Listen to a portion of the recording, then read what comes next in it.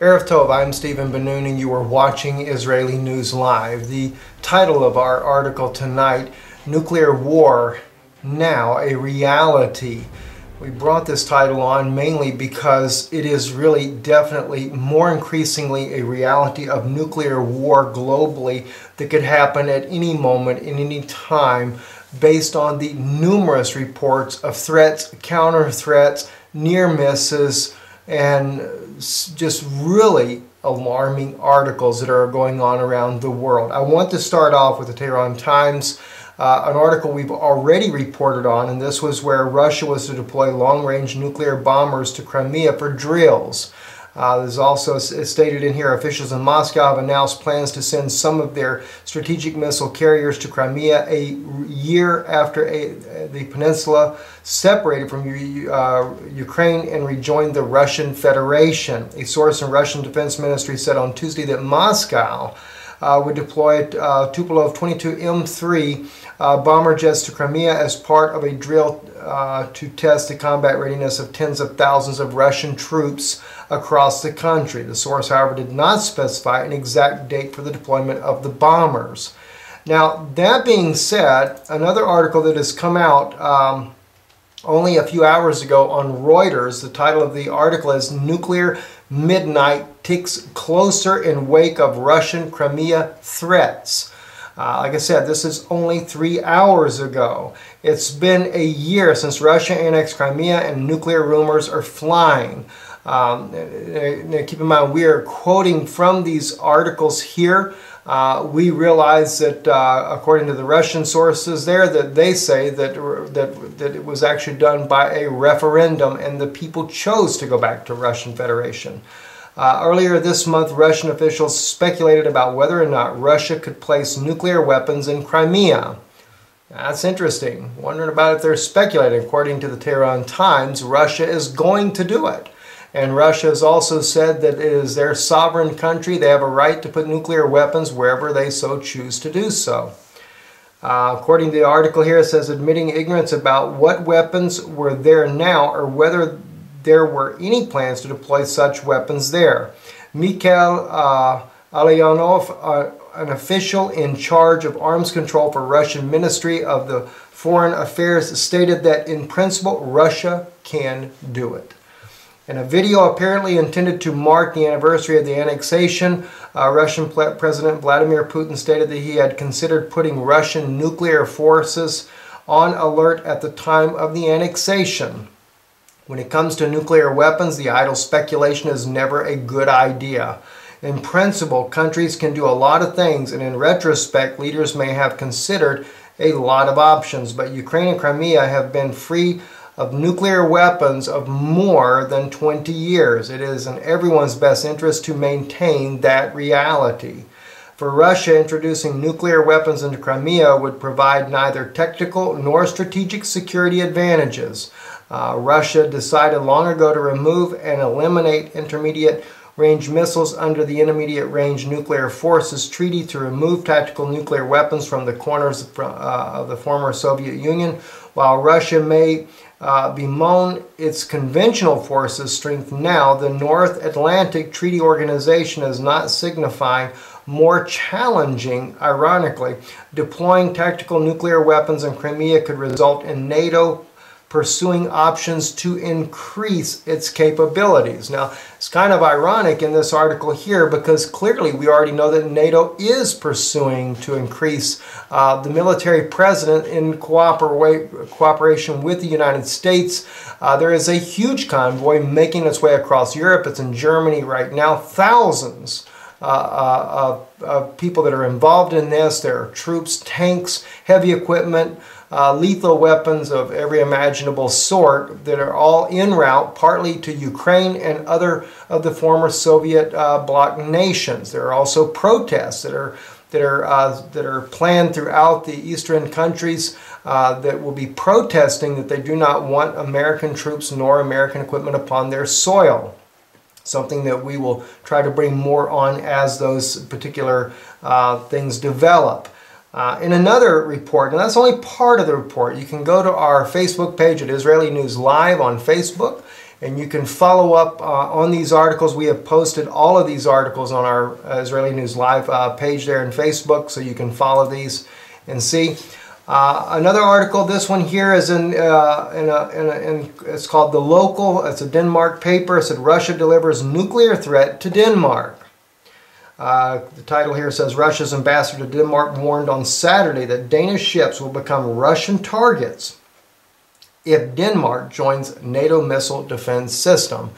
And we do uh, we have heard that uh, that Denmark has uh, chose to be neutral in this particular uh, escalation uh, that is going on in Europe now with the NATO alliance members and the EU that is arming Kiev uh, to try to take back the the the, the Don Donetsk region and the southeast part of Ukraine.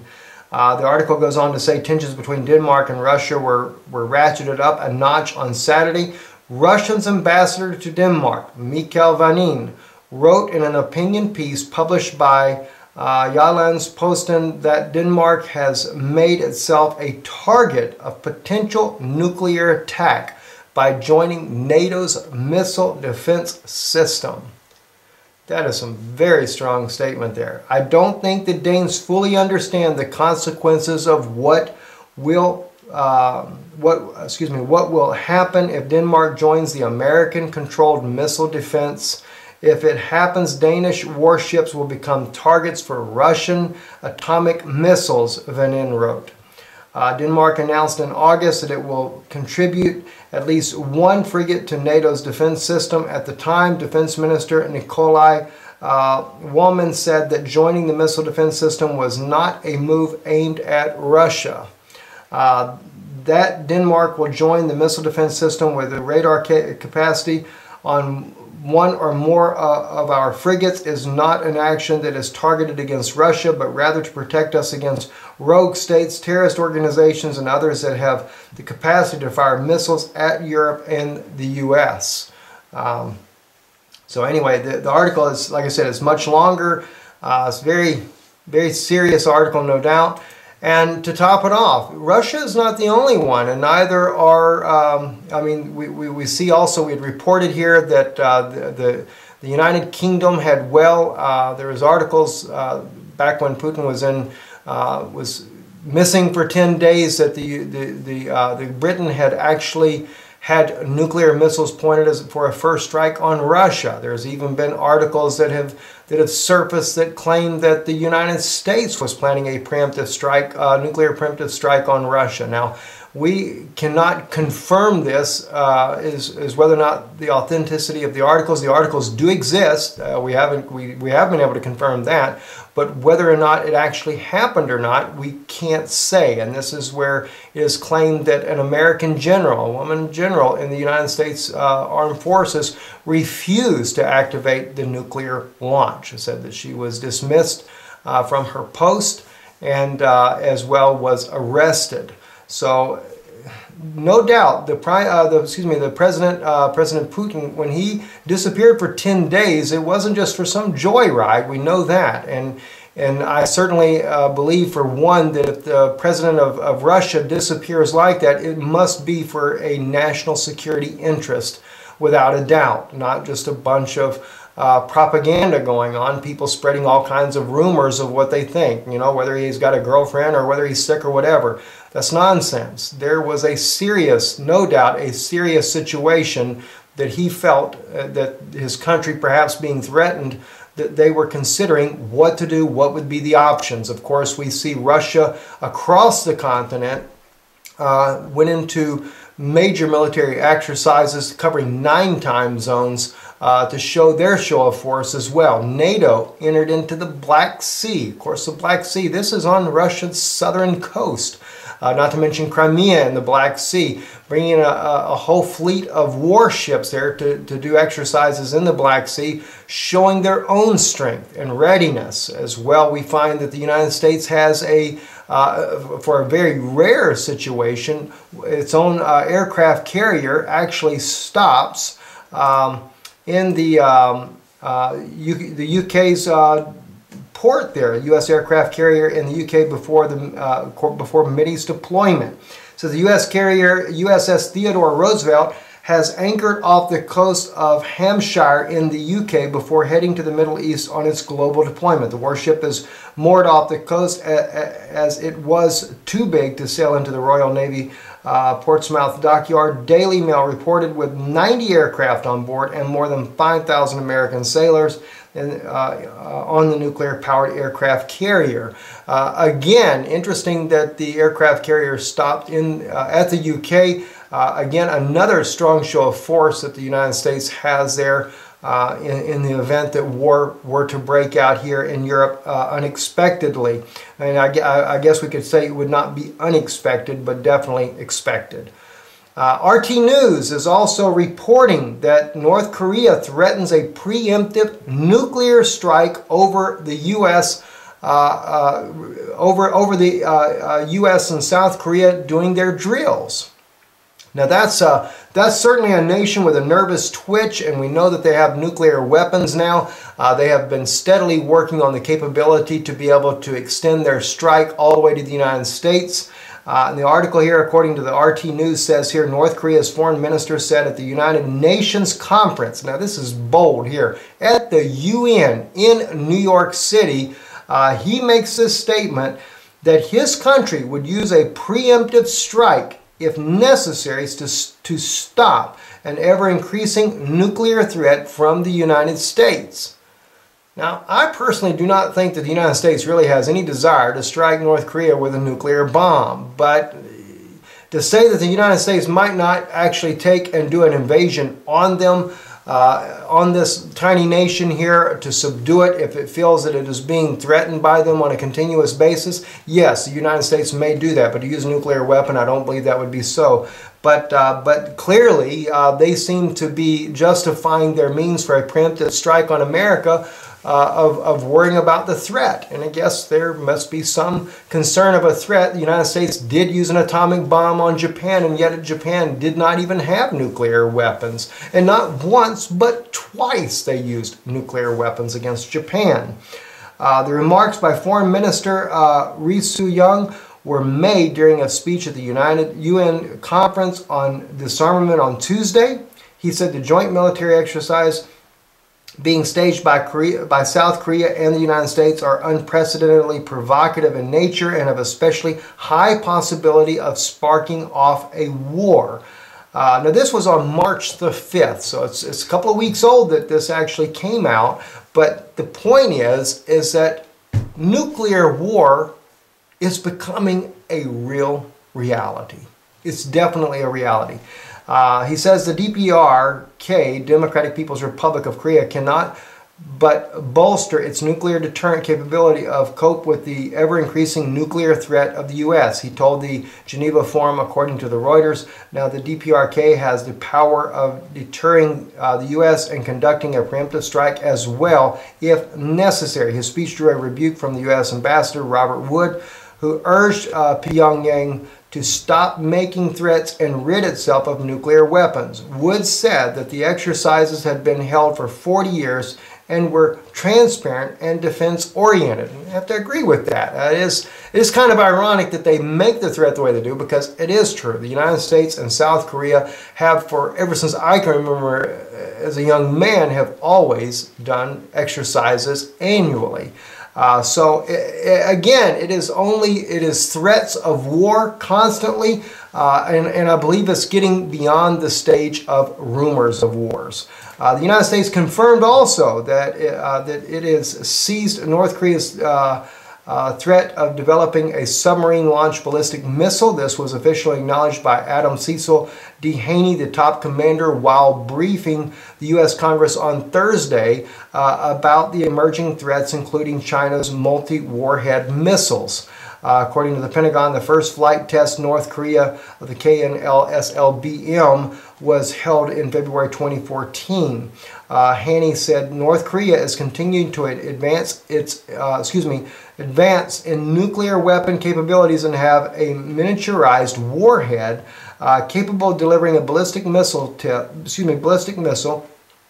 The February test was followed a land-based ejection test in November from a st uh, static launcher at the Sinpo South shipyard. Uh, but but anyway, again, like we say, you know, the, the threats of war, nuclear war, is just a constant. Uh, and of course, then we have the situation going on in uh, Ukraine, and this is what's really kind of got all of this stuff hyped up to begin with. Uh, the United States and the NATO allies are uh, bringing in large amounts of equipment, uh, preparing for uh, what it perceives to be an all-out war with Russia, at least a ground war, uh, with a huge threat of the nuclear war possibility behind. Uh, the people of Donetsk the, in eastern Ukraine are seem to be bewildered. They say we have signed an agreement in Minsk, in Belarus, in Minsk, and the agreement is not being honored, they claim, by Kiev. And of course, Kiev throws it back the other way and says it's not being honored by the uh, self-proclaimed Republic of, of Donetsk uh, region. And so the war is definitely inevitable. It has passed the deadline of, uh, of the uh, autonomy being given to the eastern part of the country. Uh, the prime minister now of Ukraine has already threatened that they will take back the east as well. And so with the threats there, we realize that war is definitely inevitable. And then to top it all off, uh, the Inquisitr is reporting that Russia plans to seize Ukraine port of Mariupol. Uh, U.S. intelligence officials say Russia is planning to invade the Ukrainian port of Mariupol this spring.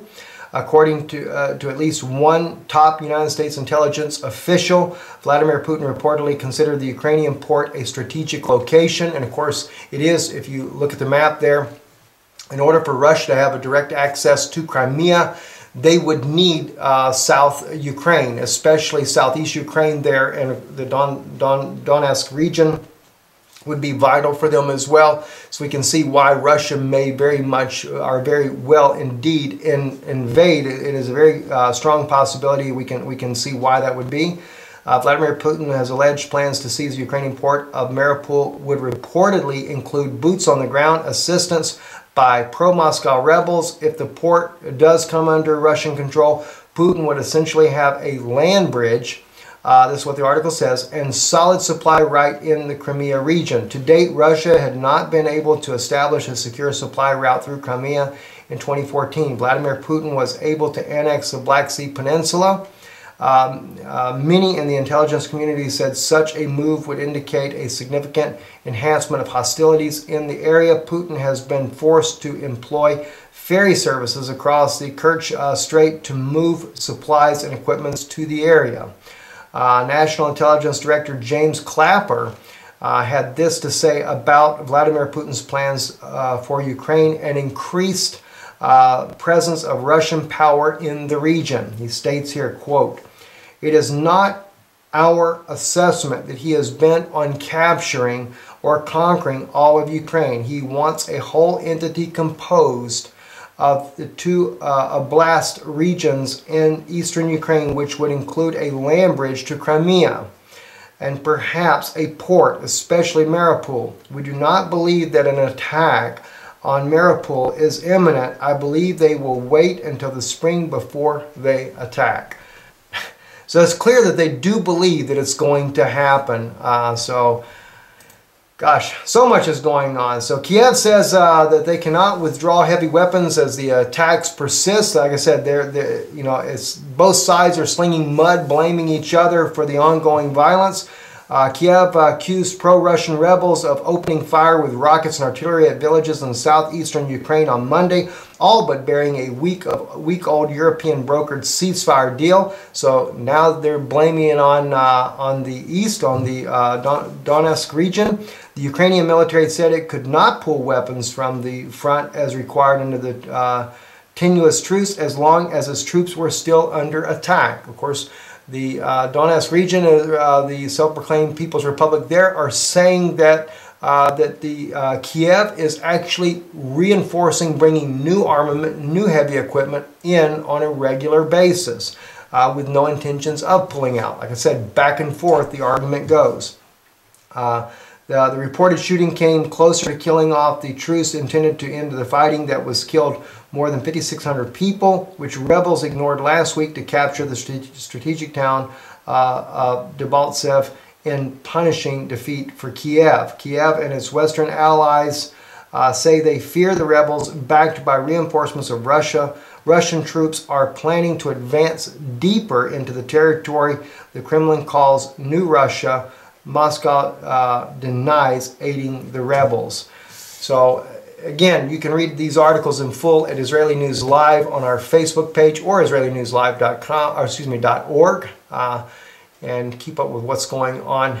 We are definitely on the brink of a nuclear conflict. And we can see if it ends up coming uh, to Europe, it'll be, uh, Western Europe will definitely take a hard hit. The United States may take a hit, uh, if, especially if there's a preemptive strike on Russia. Uh, there, Russia would definitely not hold back uh, in, in defending its own territory. And, uh, but at the very least, the situation in Ukraine is definitely spiraling out of control. I'm Stephen Ben-Nun with Israeli News Live. Shalom.